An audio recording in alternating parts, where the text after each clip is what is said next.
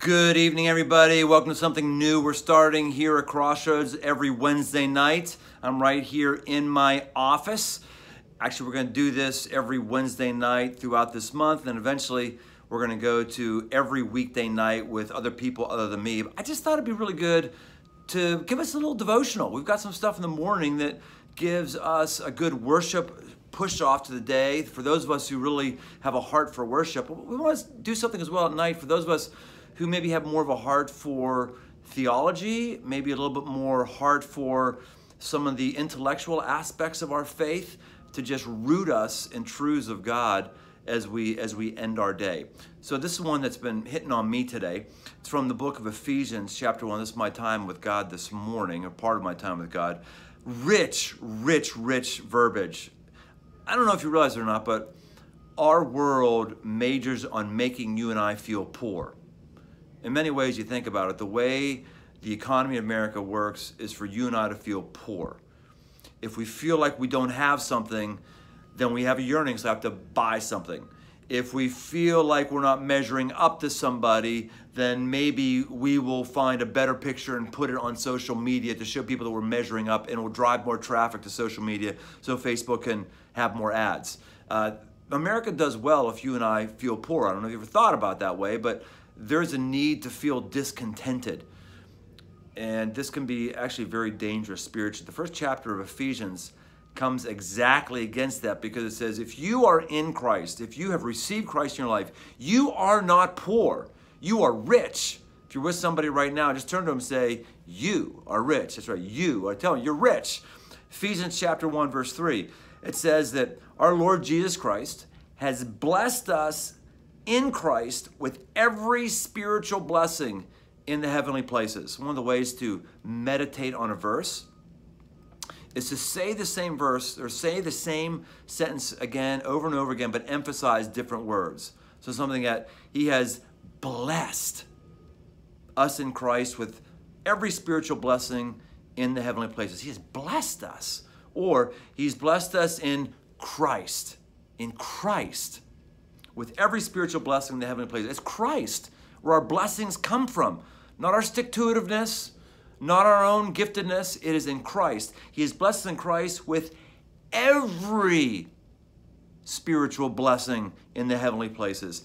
He's blessed with every, he's, he's not holding out on you. You have every, what? Every spiritual blessing. Do you feel rich when you have a spiritual blessing? Our world would tell us you're not rich if you have a spiritual blessing. That's a cop out. You're not rich if you have another house. You're not rich if you have a Vera Bradley bag. I don't know, is Vera Bradley still hot for those who are women? I don't know. It was hot 10 years ago. I never understood the stupid quilt bags. God awful ridiculous. But nonetheless, you're only rich if you have that thing or if you have iPhone X or something like that. How about being spiritually rich for knowing that how you walk is the way God wants you to walk. It makes you rich. You don't have a second thought about how you're living your life. How about how about the rich blessing, the rich spiritual blessing that you don't have to impress God anymore. When you're in poverty, you got to strive to get out of it. But when you already have every spiritual blessing, you don't have to impress God anymore. You want to serve God, we want to work with God's plan, but we are not compelled to do something so that He blesses us because we're already spiritually rich, because he has received us. Christ has blessed, blessed us in Christ with every spiritual blessing in the heavenly places, in the heavenly places. We may not be grabbing this right here and right now, but it exists for real. It's in the heavenly places. It is awaiting for us. And the verse continues Even as he chose us in him before the foundation of the world, that we should be holy and blameless before him in love. He predestined us for adoption to himself as sons through Jesus Christ, according to the purpose of his will. This is a big debate that people in theological circles love doing. What does it mean to be predestined?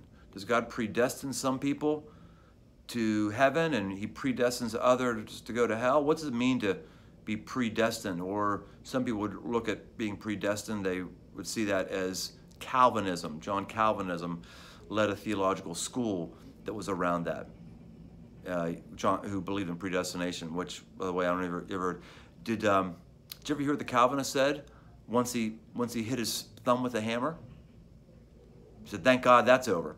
You know, predestined is going to happen. Anyway, we, we can really get into this. Whole, is it predestined? I, I, personally, I'm not excited about the predestined debate. I, I have convictions on it, or at least had used to have a lot stronger convictions. But here's what I know: adoption. All of us, when we come into the family of God, we are adopted into the family of God.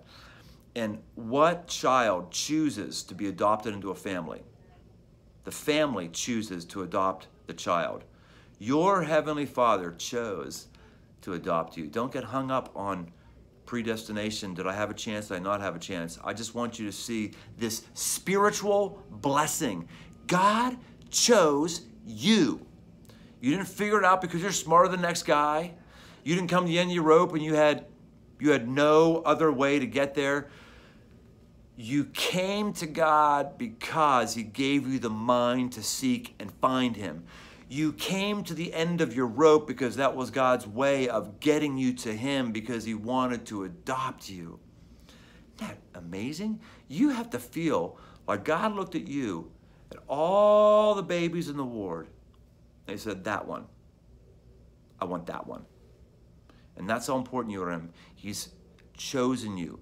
He's picked you out. He's adopted you in the family. There's other people around you who are not adopted. You are. You're special. You're special because God adopted you. Now, people around you and I, we don't know who's adopted or not. They may be marked for adoption. They just haven't gotten their adoption papers yet. So we, we never give up on our friends.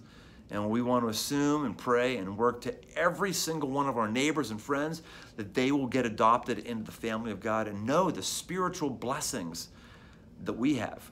But irrespective of what they do or don't do, you need to know that your, your dad, he, he chose you. He's ecstatic that, he's in your, that, um, that you're in his family. Let's, let's go through one more verse. I'm just going through this verse by verse. Number, verse number six.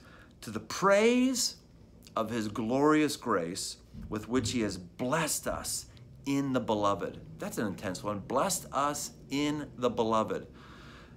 My version there, the beloved is capitalized, capital B Blessed us in the beloved means blessed us in Christ. Jesus is the beloved of God, the capital B, the ultimate divine God.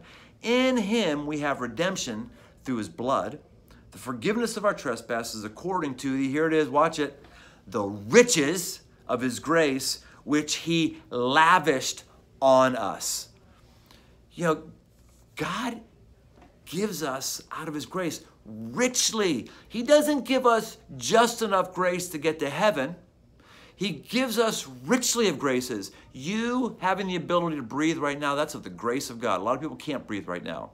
You right now being born in America, that's of the very grace of God instead of being born someplace else in the world where you wouldn't have a chance for food and sustenance the way you have right now.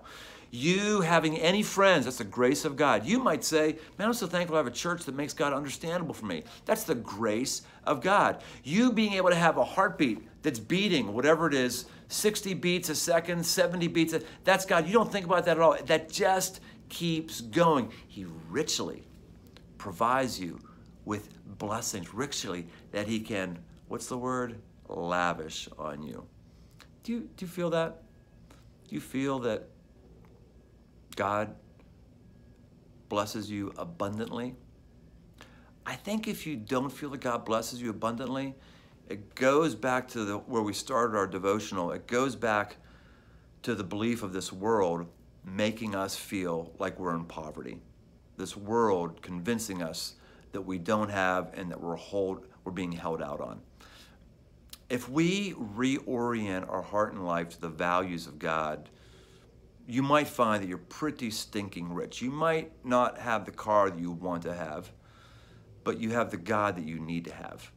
You might not have the savings that the financial planner is telling you to have, but you have an inheritance that's laid up for you in heaven. You don't have your hands on your inheritance right now, but there is an inheritance waiting for you because God has lavished you with grace. You're in relationship with it, and there is an inheritance coming that will make this 75 years on earth just like pfft, some people who appear rich right now, their 75 years going to be over like that, and I'm telling you, they're going to be in abject eternal poverty.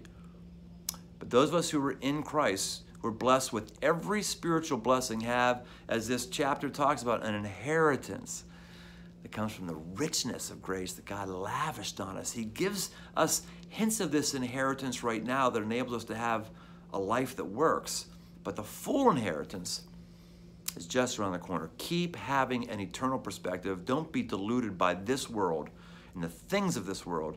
Be about the rich, spiritual, lavish blessings of God, which comes in the form of the Christ, our beloved. Let me pray for us tonight.